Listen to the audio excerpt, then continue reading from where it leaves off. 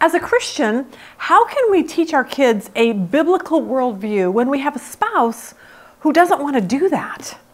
Because for a lot of us, our spouse is not only not just not a Christian, but they believe something completely different than we do. And when it comes to our children, that can become a big problem in a marriage because one is saying, God created, the other one is saying, the Big Bang. One is saying marriage is between a man and a woman, the other is saying, it doesn't matter. What should you do? Join us today as Dr. Sean McDowell answers this question for us. How can we teach our kids a biblical worldview when our spouse is not on board with that? Watch this.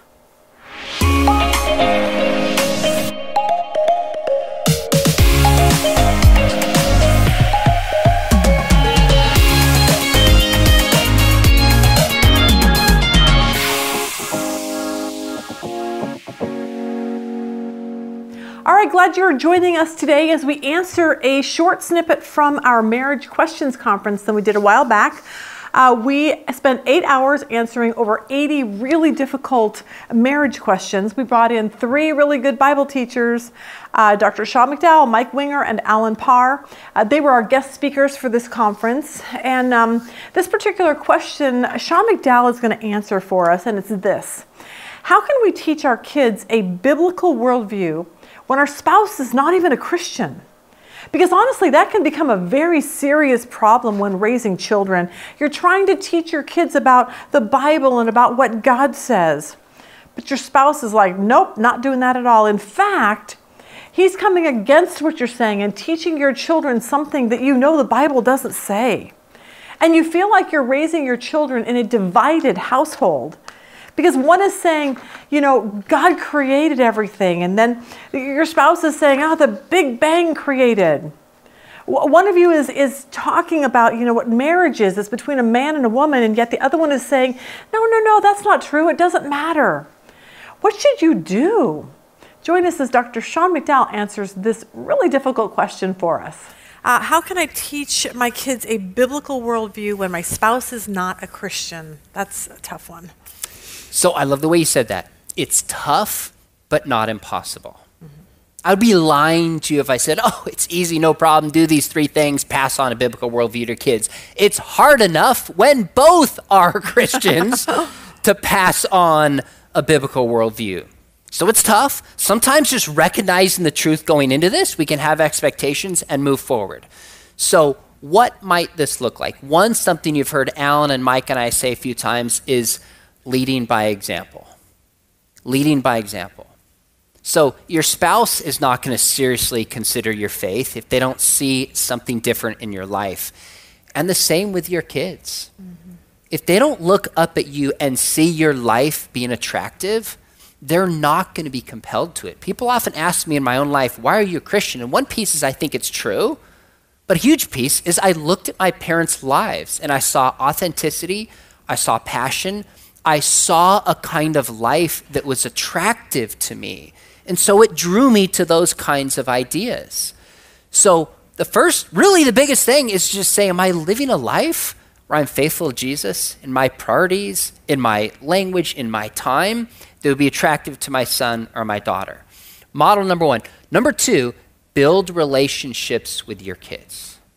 Truth is always passed on best through relationships. So spend time with your kids, do stuff with your kids.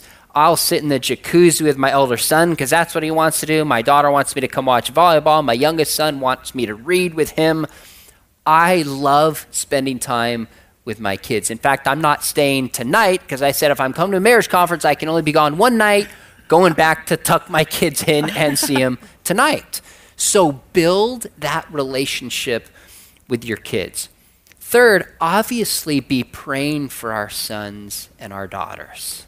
And one specific prayer I would have is that God would bring other people into their life that can model and mentor what it means to be a Christian. I pray this for my kids all the time is God bring in a coach, bring in a teacher, a youth pastor, a neighbor because it's really interesting. You have like these heroes in movies, and sometimes they need the mentor, the Mr. Miyagi, the Obi Wan Kenobi, who's not a parent, to teach the same kind of things. I needed that in my own life. So pray for your kids, but pray that God would bring in somebody specifically to play that role for them.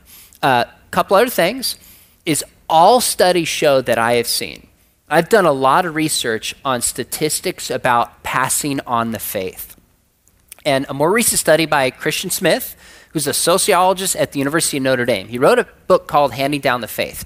And he said, since the 1970s, the sociological data has been clear. Parents play the biggest role in the life of kids, more than Netflix, more than the educational system, etc. But the most effective way parents pass on their faith, number one, they have to model it, and number two, meaningful spiritual conversations in the context of relationships. Meaningful spiritual conversations. And here's just one quick example of what this might look like. And you can do this whether your kids are believers, your spouse is a believer or not. Uh, my son just turned 18 when he was he was 14. He wanted to see this movie Bohemian Rhapsody, and it's about the rock band Queen. Oh, now you participate when I talk about Queen. I get it.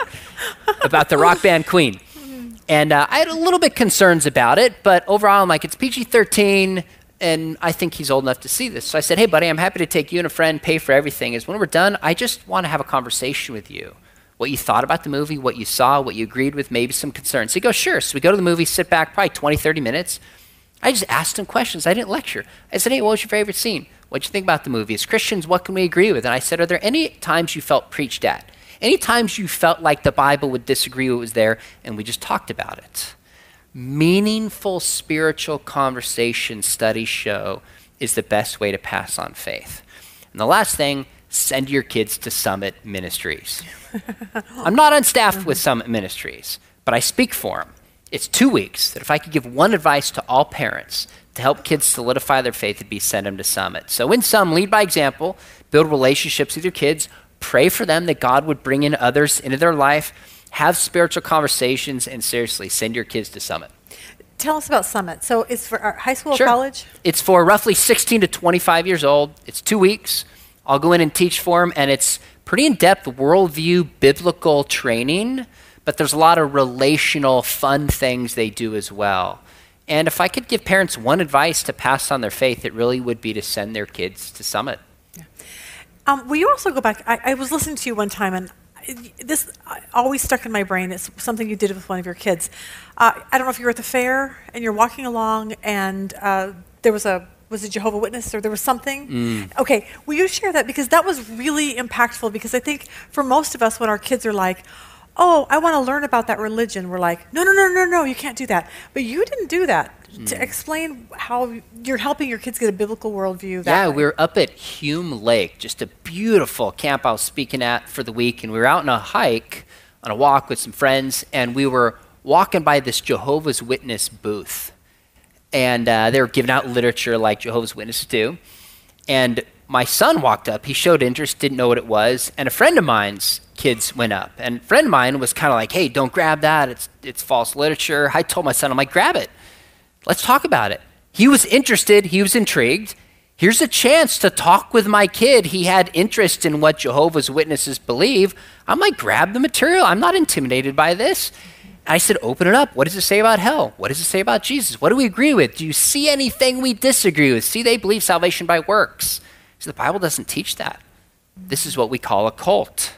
To me, that was an opportunity to teach my kids something rather than something to shy away from. So you might think about it in more contemporary terms. I want to inoculate my kids mm-hmm. with a vaccine, so to speak, a little bit, what you might say, of a, you know, not so much a disease, but a spiritual disease. So they develop the antibodies to be, you know, in defense of the real thing. I love that because I think that's how we're going to teach our kids, but it's, it's really hard. But not all of us are like you. Like, I'd be like, I'd, I'd probably have anxiety over that. So that's why I need to come to Biola and you can do it. Yeah. Yeah. Hopefully that helped you. If that is your situation, hopefully Sean um, gave you some really great advice on what to do. If you would like to watch the rest of this session with Sean, he answers eight more additional questions. If you're watching this on YouTube, you can click the link below. So hope that helped. Have a really good day today.